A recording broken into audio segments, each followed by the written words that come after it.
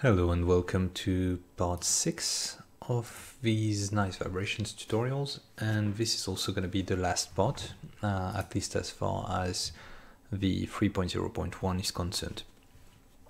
So uh, I'm in Unity right now and in the state we left the project the last time and today I'm going to focus on showing you some platform specifics, instructions and, and methods as well as how you can use nice vibrations if you also own um, MM feedbacks. So until now we've only seen ways to target the vibration manager.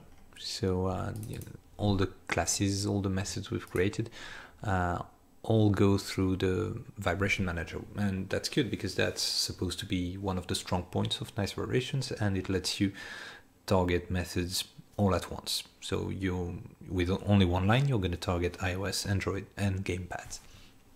But let's say that for some reason uh, you want to target only gamepad or you want to target only iOS. Well, um, nice vibrations also get you covered. And if you go into common here and script, you'll find dedicated methods for all of these.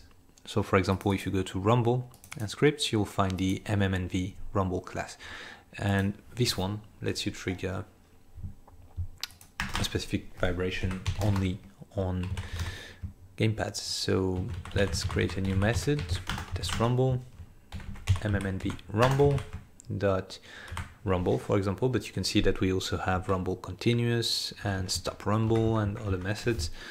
Uh, but let's call this one. And I'm gonna say 0.5 so uh, medium low frequency high high frequency. Uh, I want to rumble for two seconds and I want to use this as my coroutine support.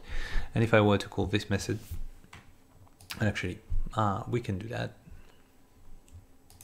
So let's create a new button and call this the rumble button and rumble and select the right method for it. So test rumble. If I press play and hold my gamepad next to the mic, we get a nice two seconds vibration.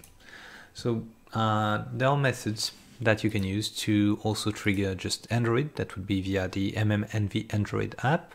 And for iOS, we've got two classes, MMNV iOS, uh, which will work from iOS 10 to iOS 13 and, and after. Uh, there's no limit, but it's quite simple and quite limited. And if you want to use the full support uh, and the full force of the core haptics interface on iOS, you want to use MMNV iOS core haptics. This only works uh, with iOS 13 and more.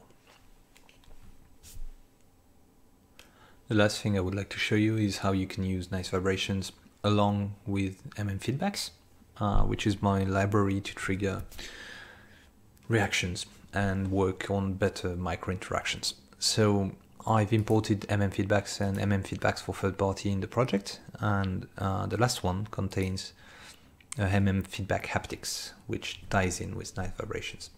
So I'm going to create a new object to test that, call it test feedbacks, and I'm going to add an MM feedbacks component to it.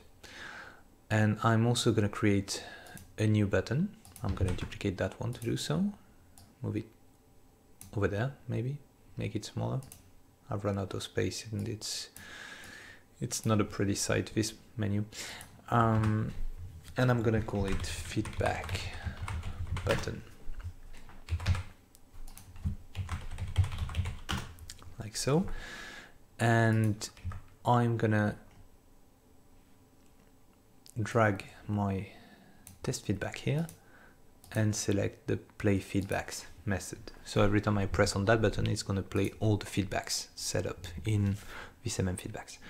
So I'm going to create a haptics one and I'm going to create a position one.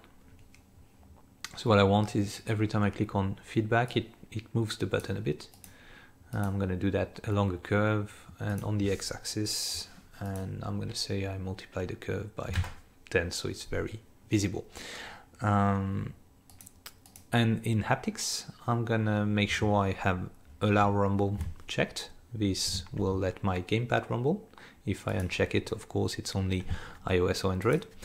And here I can select the haptic method. So if you've been watching the other tutorials, this should be familiar. You have the native presets, transient, so one-time haptic, continuous, advanced pattern using AHAP and waveform assets, and we can also stop any playing haptic. Uh, I'm gonna stick to native presets for now and say I want a failure uh, haptic to play. So now if I press play and click on feedback, I get both the vibration and the movement. I could also uh, change that to have a transient and in which case I would be able to specify the intensity and sharpness. Uh, same for continuous and I can also use curves.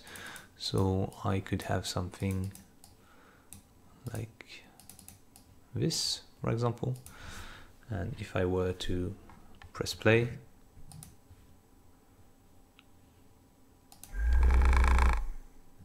I play that along that curve and it's a bit different. So you can play with that. Uh, you can also have an advanced pattern, in which case you'll get options to specify your AHAP waveform or rumble waveform files. You can also decide how many times you want it to repeat. Minus one is doesn't repeat, zero is infinite, and then one, two, three, four repeats one, two, three, four times, up to as much as you want you can specify a fallback and uh, the timescale you want that to run on. I would recommend using unscaled to avoid getting stuck in uh, the void.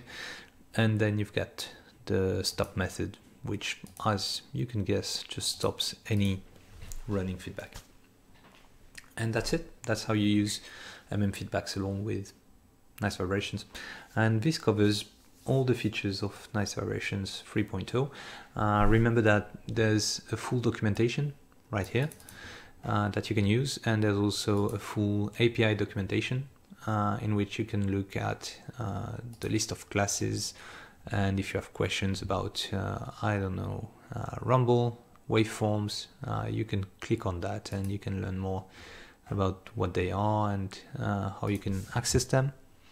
It covers everything there is to know.